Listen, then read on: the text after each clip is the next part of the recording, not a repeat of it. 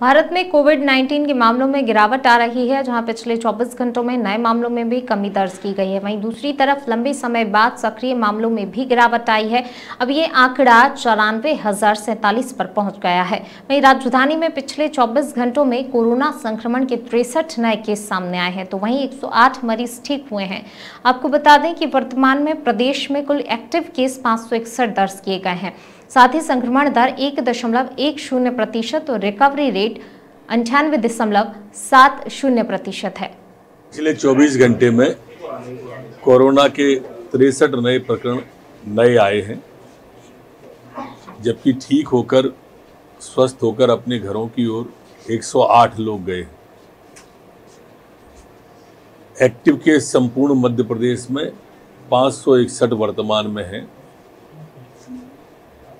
जो sample collection पिछले 24 घंटे में किया गया वो 5,723 लोगों का सैंपल कलेक्शन किया गया।